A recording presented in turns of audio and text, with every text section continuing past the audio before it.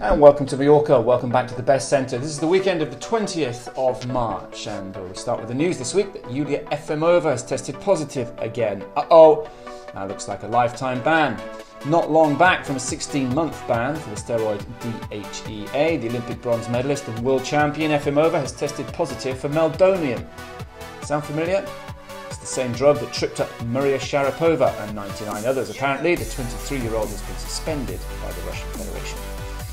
Now, remember the glorious British successes in Berlin at the 2014 European Championships? Well, fully 18 months later, two British world records that were set have finally been ratified. Adam Peaty on the 50 breast, and then Fran Halsall, Peaty, Chris Walker-Hebborn and Jemma Lowe on the 4x1 mixed medley relay. Both records have subsequently been bettered, but better late than never.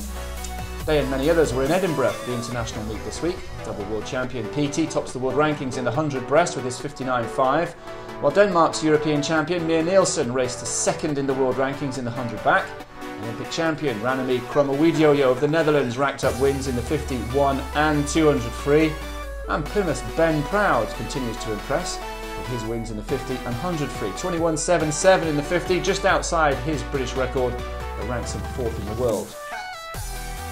Elsewhere, Georgia have won the Women's NCAA Championships for the third time in four years. Bulldogs pipped runners-up Stanford by just 19 points. Stanford will be kicking themselves after losing 40 points with their DQ in the 200 free relay on day two of the competition. And finally, it's trial season. First up, the Spanish, whose trials are underway at the moment. We'll bring you all the news you need in the next programme. Now, as you know, we're partnered with the German Triathlon Federation, and there are many triathlon camps and clinics at the town this week. We asked the Chief Executive, Matthias Zoll, about the benefits of, to the DTU of choosing the best centre. Quite simple. We know this place here for about seven years already, and our athletes yeah, had a great experience running in the, in the wood here, and of course in the beautiful pool, which is behind me. Now our uh, national team is here for preparations for Rio 2016, and I, I guess the uh, conditions here are nearly ideal for triathlon, as well as the road.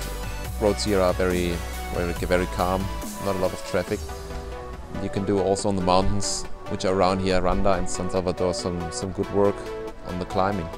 Yeah, that's why we choose uh, also this place for a partnership where our members could benefit of. Consistency is in triathlon the key word in my opinion and so plan your uh, training camp carefully and stick to the rules and maybe get some advices from a good coach which is around here as well. If you come here for two weeks, you want to train 40 days, uh, you need to think about rest days as well. Well, that's it for this week. Enjoy the montage. We'll see you next time. Bye for now.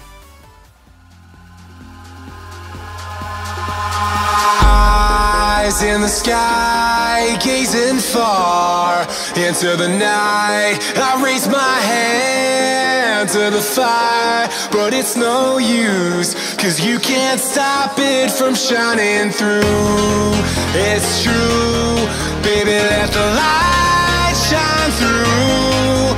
If you believe it's true, baby, won't you let the light shine through?